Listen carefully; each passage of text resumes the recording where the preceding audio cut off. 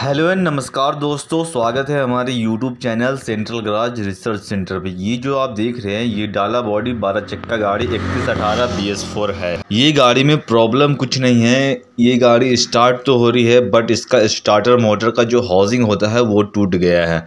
वो टूटने की वजह से भी गाड़ी स्टार्ट हो रही है। प्रॉपर गाड़ी हमारी स्टार्ट हो रही है। गाड़ी स्टार्टिंग में कोई दिक्कत नहीं है। लेकिन हमने क्या करना है कि इसकी जो स्टार्टर मोटर है, उसे खोल के और उसे हाउसिंग रिप्लेस करना है। ये आप देख सकते हैं, ये इसका स्टार्टर मोटर मैं आपको दिखाता हूँ।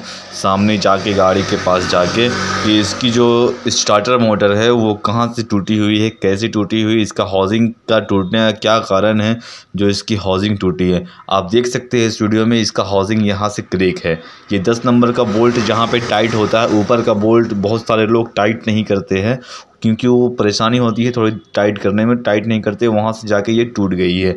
ये टूटने का वजह ये है कि इसकी जो इंजन माउंटिंग है, वो ढीली पड़ी है। इसकी वजह से ये हाउसिंग टूट गया है। तो इसे, इस हाउसिंग को टूट गया तो इसे मैं सेल्फ को खोलूँगा। सेल्फ खोलने के बाद इसकी स्टार्टर मोटर पे न्यू हाउसिंग को इंस्टॉल करूँगा, उसके बाद इसे गाड़ी में फ़िट कर दूँगा। और इसका आप सेल्फ देख रहे हैं बी एस फोर का ये सेल्फ है स्टार्टर मोटर इसका हाउसिंग टूटने का रीज़न यही था।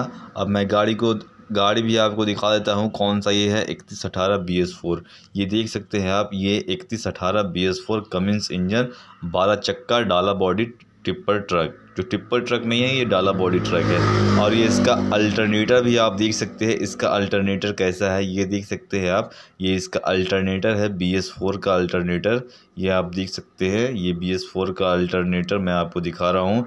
अच्छी तरीके से और इसका फ़ैन बेल्ट भी कैसे लगा हुआ है। वो भी मैं आपको दिखाता हूँ इस वीडियो में। आप देख सकते हैं ये सिस्टम है इसका फ़ैन बेल्ट लगाने का। ये देख सकते हैं आप इस वीडियो में। और इसका अल्टरनेटर लुकस का अल्टरनेटर और इसका स्टार्टर मोटर था, वो भी लुकस का ही था। ओरिजिनल लुकस का। लुकस ब्रांड एक बहुत बड़ी ब्रांड है ऑटो इलेक्ट्रिकल डिपार्टमेंट का।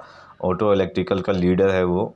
आप देख सकते हैं इस वीडियो में, वो जो चीज़ बनाती है, वो बहुत हैवी चीज़ बनाती है और ये बी एस फोर का क्लस्टर मीटर जो मैं आपको दिखा रहा हूँ इस वीडियो में। और ये कुछ थोड़ी मोड़ी वायरिंग्स की हुई है और ये इसका कैबिन कैबिन सिस्टम और ये इसका क्लस्टर मीटर तो उम्मीद है कि ये वीडियो आपको अच्छा लगा। वीडियो अच्छा लगे तो प्लीज़ हमारे चैनल को सब्सक्राइब करें और वीडियो को लाइक करें। तो मिलते हैं नेक्स्ट वीडियो में। तब तक के लिए जय हिंद।